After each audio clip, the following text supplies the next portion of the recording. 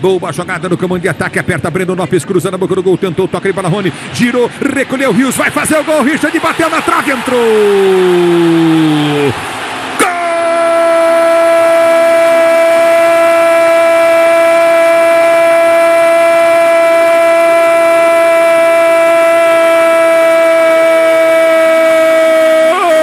Palmeiras, Richard Rios.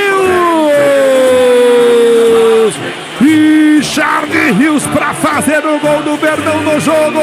Na jogada pelo setor de esquerda, Piqueires inteligente lançou para Breno Lopes. Ele ergue a cabeça, cruza. O Richard Rios domina em frente à linha da pequena área. Ele ergue a cabeça, enche o pé na bola. A bola dá no pé da trave esquerda e morre do outro lado, dando na bochecha. Ela dá na bochecha. Ela dá na bochecha direita do gol e entra no fundo da rede.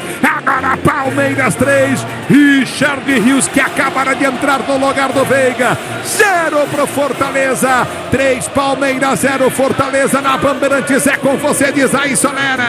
Gelado tal qual a noite paulistana. Como foi frio o Richard Rios. Cruzamento na medida do Breno Lopes. Ele ajeita de pé direito. Espera o zagueirão definir. Dá o corte de pé canhoto. A bola ainda pega E na cabe, trave e morre e na cabe, rede.